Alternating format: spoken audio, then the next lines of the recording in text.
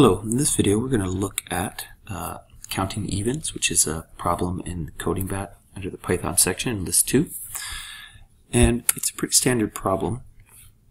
Uh, what we need to do in this problem is we need to loop through the entire list and check each element in sequence. And what we're going to do is we're going to check if it's even or odd. So the way we do this, and this is a good skill, is to check if a number is even or odd, we mod it by 2. And the reason we can do that is because um, when you divide an even number by 2, you have a remainder of 0. And when you divide an odd number by 2, you have a remainder of 1. So if n mod 2 is equivalent to 0, um, then n is even. And if n mod 2 is equivalent to 1, then n is odd. This is a really useful technique. So, to do this, we're going to set up our standard for i and range loop, uh, 0, and we're going to put the length of nums.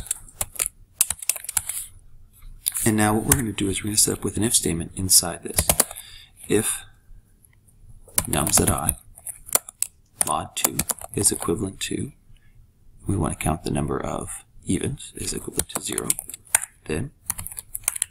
Now here's the thing. Um, we want to now keep track of how many even numbers we've come across. So to do this, we're going to introduce a variable called count. We'll set it to 0. And so we say count equals count plus 1. And then we return count once we've passed through the entire loop. If we hit go, there we go. So just, just to highlight two common errors that, that students um, tend to run into. So the first common error is students take the sum of even elements. And actually this is a really good this is a really good thing to do and to be able to do. Um, but I think what happens is students get so comfortable with constantly taking the sum of it, sum of values um, they miss the subtlety that we're at. we don't want to take the sum of the values, we want to actually count the number of times an even value shows up. And the second error that sometimes happens, and this is a bit this is a more significant error, is we either see this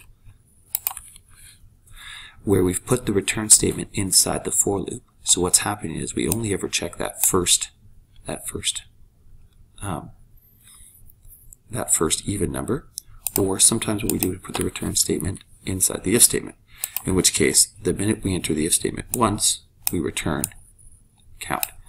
And remember, as soon as we reach return statement, the function stops. Keep an eye out for that mistake, because it's a pretty common one. So I hope this video helped, and as always, please feel free to ask any questions. Have a wonderful day.